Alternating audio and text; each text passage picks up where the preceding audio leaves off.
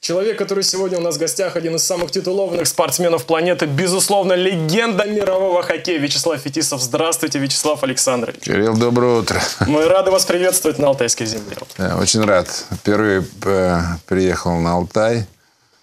Фантастическая природа, на первый взгляд. Воздух какой-то такой, ну, очень свежий, живой. Да, живете здесь в раю. Ну, собственно говоря, вот первый вопрос достаточно очевидный. Цель вашего визита на Алтай? Ну, у нас выездный э, комитет э, Государственной Думы. У нас достаточно э, серьезные ребята, великие спортсмены, управленцы от спорта, от туризма и молодежной политики.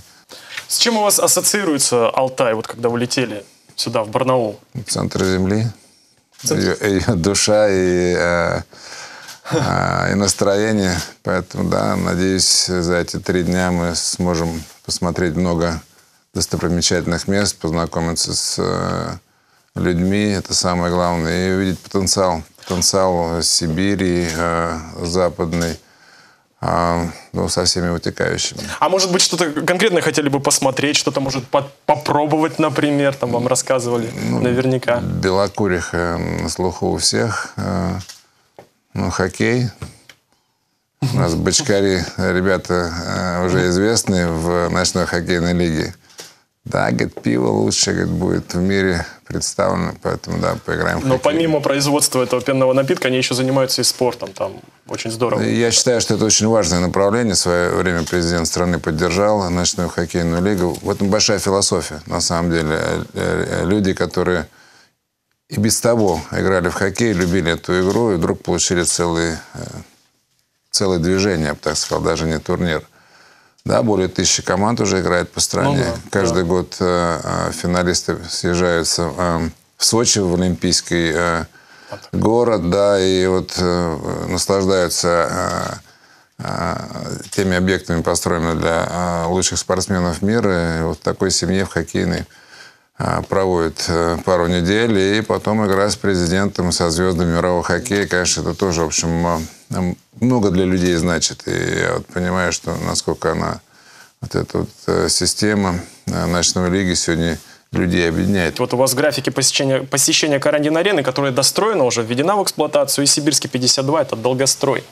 Вот у нас на Алтае есть дефицит льда. Вот на ваш взгляд, что нужно сделать, чтобы не было этого дефицита? Вот болельщики ждут этого прорыва.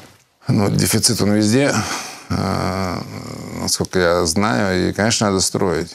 Вот мы принимаем всякие программы, вот стараемся в комитете э, в этом составе разобраться, на самом деле, почему э, иногда выделяются деньги туда, где, в общем, они, может быть, не так эффективно будут работать. А с другой стороны, стоят недострои по разным причинам. Так, конечно, причину надо выяснять, выявлять тот, кто, в общем, не сумел достроить, но в любом случае это то, что раздражает людей, это, в общем, убивает надежду, особенно у, детей, у молодежи. Да, необходимо достраивать. И ну, в свое время, когда я руководил российским спортом, это было начало нулевых, непростая история, а, мы написали федеральную целевую программу. Угу. И по этой программе должны были построить в каждом субъекте Российской Федерации примерно по 50 а, спортивных объектов э, современного уровня. Ничего себе. То есть, если можно себе представить, да. Ну, и мы как раз ее рассчитывали а, начать реализовывать 10 с 10 года по 15, потому что нужно было подготовить регионам и свои бюджетные а, обязательства, площадки, подвести коммуникации. Да, для этого нужно было время. Угу. Да, ну, к сожалению, я в восьмом году перешел на другую работу. В общем, те, кто пришли на смену, они не увидели в этом перспективу. И мне кажется, это было большое упущение.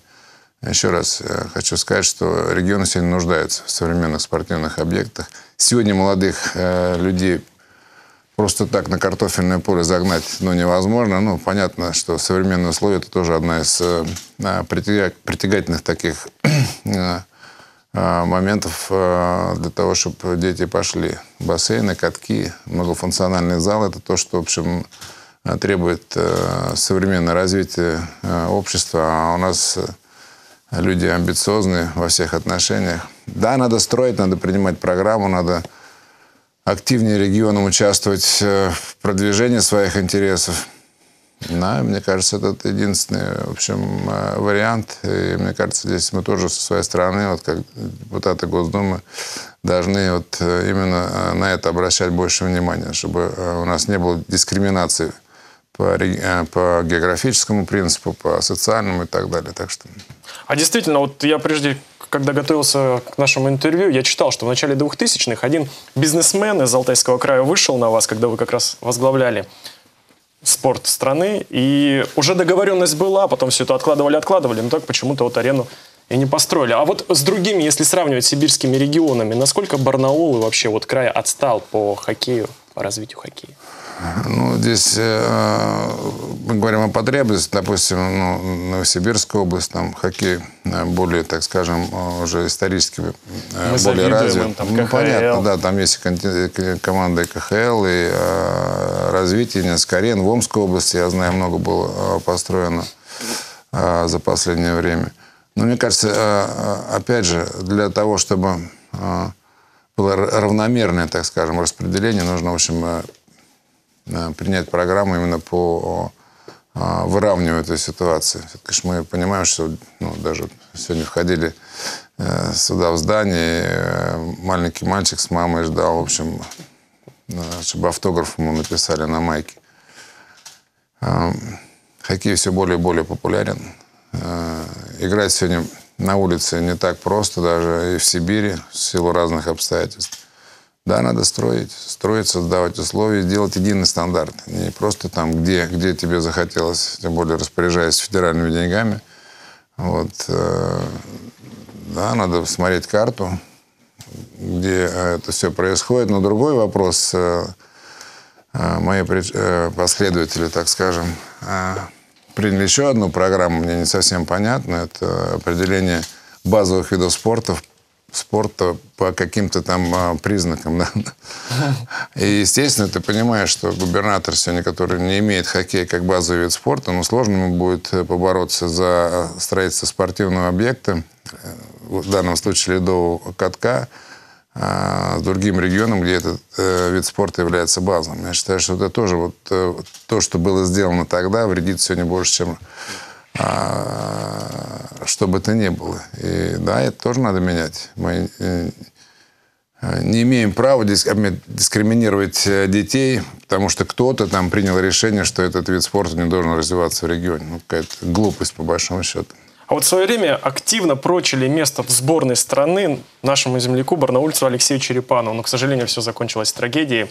Вот с тех пор даже, по-моему, близко никто не подобрался к сборной из наших воспитанников из Алтайского края. Насколько сложно пробиться пацану из глубинки-то в сборную? Это еще одна из проблем, которая требует серьезного обсуждения. Я 8 лет работал сенатором э, в Приморском крае. Могу сказать, что детишкам э, с Дальнего Востока и Сибири очень сложно пробраться.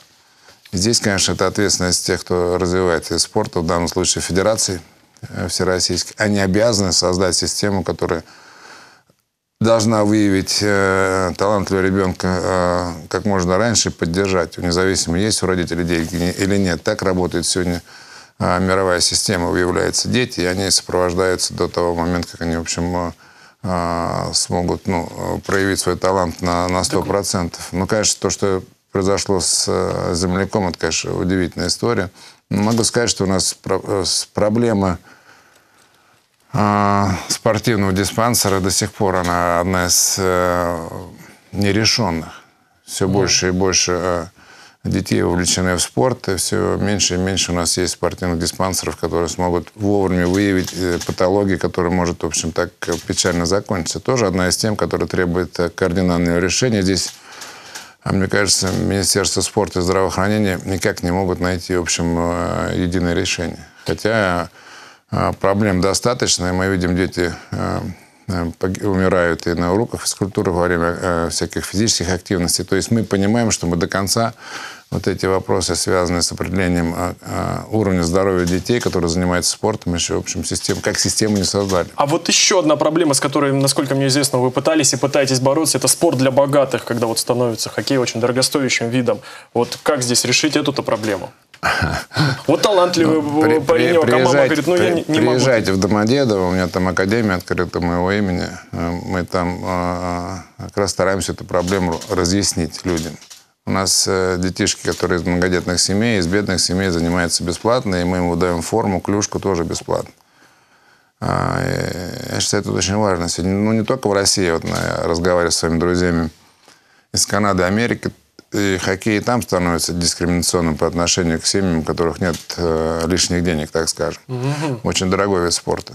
То есть это общемировая такая тенденция Да, и получается. здесь мы понимаем, что мы можем всех опередить. Обычно из, э, э, из семьи, где нет большого достатка, и будущие э, мегазвезды и появляются. То есть государство обязано сегодня обеспечить э, детей. И мы здесь как раз ну, э, сталкиваемся с проблемой разделения спорта высших достижений и массового спорта. Я считаю, что спорт массовый – это общеобразовательная школа, где мы должны как раз проявить и выявить этого талантливого ребенка. А когда он приходит уже э, работать, э, имею в виду, раб- тренироваться в, а, в школу любого уровня, детско-спортивную, детско-юношескую, он должен быть обеспечен всем. И никаких подкаток не должно быть, никаких требований, там, э, доплат и так далее. Это уже ответственность спортивных федераций, чтобы люди, которые работают э, с талантливыми мальчишками, получали достойную зарплату и, в общем, не а, занимались поборами. Но, опять же, это системный э, сбой, э, который требует, в общем, э, понимания, как это все работает. Мне кажется, если мы таким образом начнем относиться к э, юным талантам, то у нас их будет все больше и больше, в том числе и здесь, на этой э, богатой талантами людьми. Но, опять же, видно, здесь еще система хоккейная как таковая не пришла. Ну, Вот в графике визита у вас опять встреча с юными хоккеистами. Вот какой главный совет вы даете юным спортсменам? Ну, я не только со спортсменами э, с- встречаюсь. Ну, уже достаточно долгое время в большой политике. И, э, с удовольствием э, иду на встречи со студентами. У меня их э, огромное количество от Владивостока до Калининграда.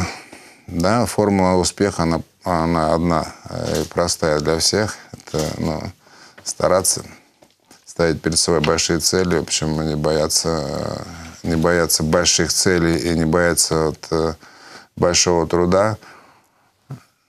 Ну, и я думаю, что тот девиз, который... Не девиз, может быть, посыл, который мой отец мне в детстве сказал, старайся, сынок, и все у тебя получится. В общем, он работает, по большому счету. Вячеслав Александрович, буквально у нас несколько секунд остается крайний, пожалуй, вопрос. Безусловно, вы очень много сделали для отечественного мирового спорта, но есть еще какие-то вот идеи, что бы вы хотели реализовать? Ну, у нас сейчас ответственность еще и туризм, и молодежная политика. Вот, э, я стал послом Организации Объединенных Наций по Арктике и Антарктике. В последнее время считаю, что экология – это главная задача, в общем, человечества, которая нас обязана объединить в ближайшее же время. То есть то, что происходит с экологией во всем мире, мире, это такой нам сигнал э, сверху, да, что если мы сегодня не поймем, что это главная цель – сохранить Землю и вернуть ее все то, что мы э, сумели э, напортачить да, в исходное положение, то будут большие проблемы. Я уже вот больше года этой темой занимаюсь и надеюсь, что э, э, и государство, без них это невозможно, и большой бизнес, и большая политика понимает, что все конфликты, которые есть, отнимают и время, и огромное количество денег, но это не та задача, которая, в общем, сегодня существует на планете. Да природа, экология. А это место, где мы находимся, может быть меккой для мирового туризма. Все-таки э, люди сегодня ищут э, те места, где можно, в общем, э, дышать этим целебным воздухом, общаться с природой и получать этого удовольствие. Спасибо большое, Вячеслав Александрович. Спасибо, что нашли время. очень приятно. Да. Удачи всем. Я напоминаю, сегодня у нас в гостях был спортсмен, политик и телеведущий Вячеслав Фетисов. Говорили о многом, но главное, конечно же, о хоккее.